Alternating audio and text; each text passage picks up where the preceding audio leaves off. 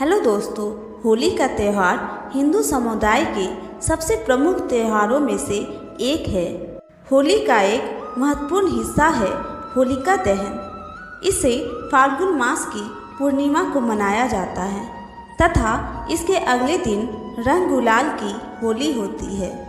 कई अन्य हिंदू त्योहारों की तरह होली भी बुराई पर अच्छाई की जीत का प्रतीक है।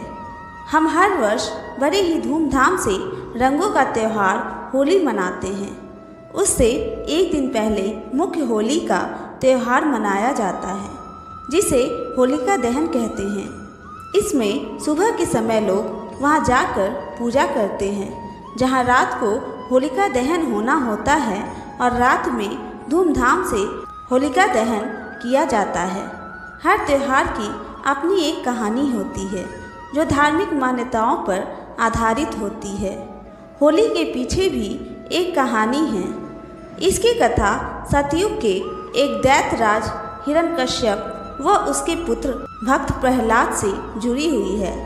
महर्षि कश्यप की पत्नी दक्ष पुत्री दति के गर्भ में दो महान पराक्रमी बालकों का जन्म हुआ। इनमें से बड़े का नाम हिरण्यकश्यप और छोटे का नाम हिरण्याश था। दोनों ही महाबलशाली, महापराक्रमी और आत्मबल संपन्न थे। दोनों भाइयों ने युद्ध में देवताओं को पराजित करके स्वर्ग पर अधिकार कर लिया। एक समय जब हिरण्याक्ष ने पृथ्वी को पाताल में ले जाकर छिपा दिया, तब भगवान विष्णु ने बारह अवतार लेकर पृथ्वी की रक्षा के लिए हिरण्याक्ष का वध किया। अपने प्रिय भाई हिरण्याक्ष के वध से दुखी होकर हिरण्यकश्यप महेंद्रचर पर्वत पर चला गया। वह भगवान विष्णु द्वारा अपने भाई की हत्या का बदला लेने के लिए ब्रह्मा जी की घोर तपस्या करने लगा। तभी इंद्र आदि देवताओं ने हिरण्यकश्यप के राज पर आक्रमण कर दिया और उन्हें राजविहीन कर दिया। दैतगण इस युद्ध में पराजित हुए और पाताल लोक को भाग गए।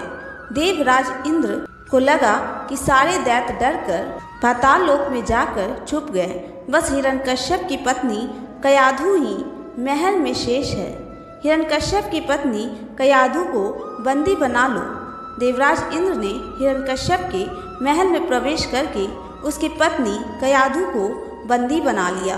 तब उनकी पत्नी ने कहा, मुझे छोड़ दीजिए राज इंद्र, मैं गर्भवती हूँ। तब इंद्र ने कहा, नहीं, हम एक दक्ष की पत्नी को यहाँ नहीं छोड़ सकते। यह हम सभी देवताओं के लिए हानिकारक है। देवराज इंद्र कयाधु को बंदी बनाकर ले जाने लगे। तभी रास्ते में उनकी देव नारद से भेंट हो गई। तब कयाधु कहती है, कोई बचाओ, मेरी रक्षा करो। तब नारद मुनि कहते हैं, नारायण नारायण, देवराज कयाधु को कहाँ ले जा रहे हो?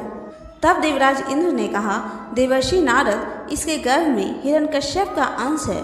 अगर वह जीवित रहा तो एक दैत और जन्म ले लेगा। मैं ऐसा कदापि नहीं होने दूँगा। तब नारद जी ने कहा, नहीं देव, राज इंद्र, कयाधु के गर्भ में पल रहा शिशु आगे चलकर भगवान विष्णु का परम भक्त बनेगा।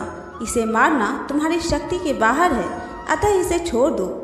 नारद जी के कथन का मान रखते हुए इंद्र ने कयाधु को छोड़ दिया और वापस चले गए। नारद जी कयाधु को आश्रम में ले आए और बोले, बेटी, तुम यहाँ आराम से रहो।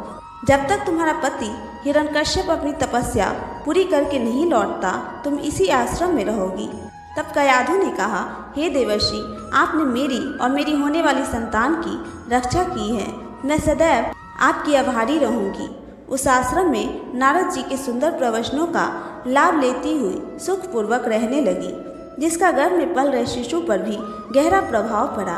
भगवान विष्णु के नाम का जाप कयाधु और उसके होने वाले बच्चे के कानों में सदैव पड़ता रहता था।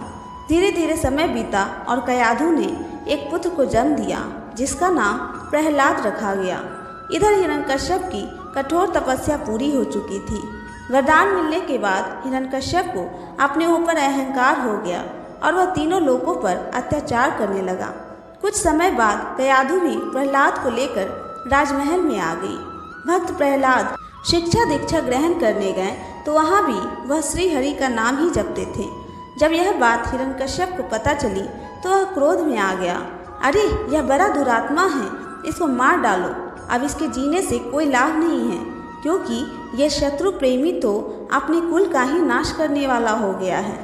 तब कयाधु ने कहा, नहीं नहीं स्वामी, ऐसा मत कीजिए। मेरे लाल, मेरे बालक को छोड़ दीजिए। यह आपका पुत्र है।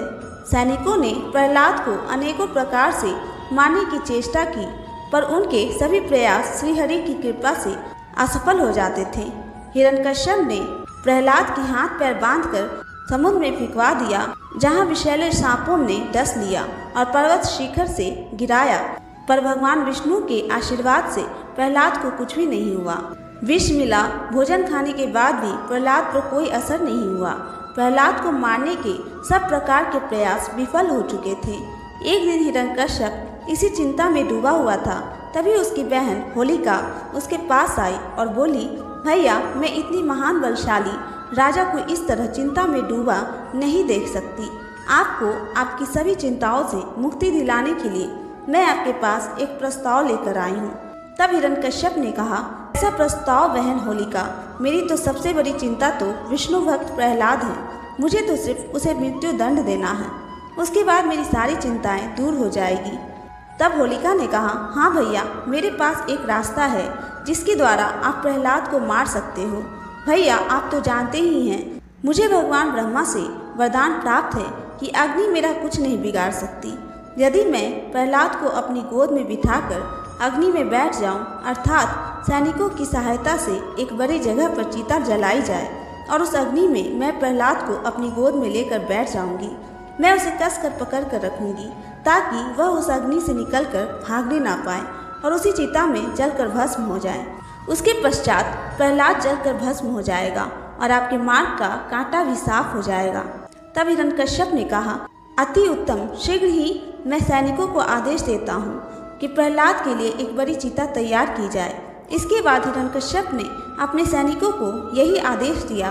कुछ ही समय में खाली जगह पर विशाल लकड़ियाँ और घास फूस इकट्ठी कर दी गई और उसके बीचों बीच होलिका प्रहलाद को अपनी गोद में लेकर बैठ गई। इसके पश्चात हिरण्यकश्यप की आज्ञा के अनुसार उस चिता में आग लगा दी गई। आग लगते ही प्रहलाद हमेशा की तरह विष्णु विष्णु का नाम जपने लगा।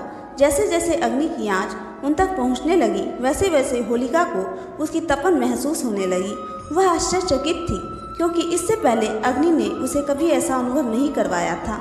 अब अग्नि उन तक पहुँच चुकी थी और होलिका का शरीर उस अग्नि से जलने लगा था। तो वहीं प्रहलाद निश्चिंत होकर बैठा था और विष्णु नाम का जाप कर रहा था। होलिका को यह देखकर बहुत क्रोध आया और वह चीख चीख कर भगवान ब्रह्मा के दिए वरदान को झूठा बताने लगी। छल, मुझसे छल हुआ है। रामदेव का वरदान झूठा है। बचाओ, कोई बचाओ।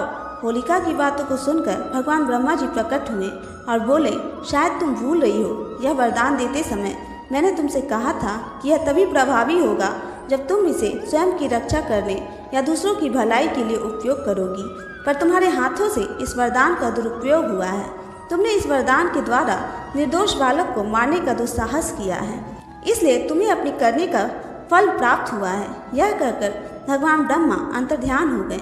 वह अग्नि बहुत विशाल थी और होलिका चाह कर भी उस अग्नि से नहीं निकल सकती थी।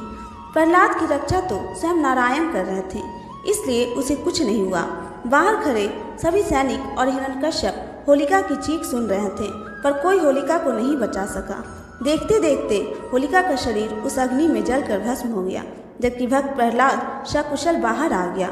तभी से उस दिन से होलिका दहन के नाम से होली मनाया जाता है। तो दोस्तों, वीडियो पसंद आई हो तो वीडियो को लाइक शेयर एंड कमेंट ज़रूर करें। और चैनल पर नए हो तो प्लीज़ चैनल को सब्सक्राइब करके बेल आइकन प्रेस करना ना भूलें। फिर मिलेंगे अगले वीडियो में, तब तक के लिए जय श्री कृष्ण।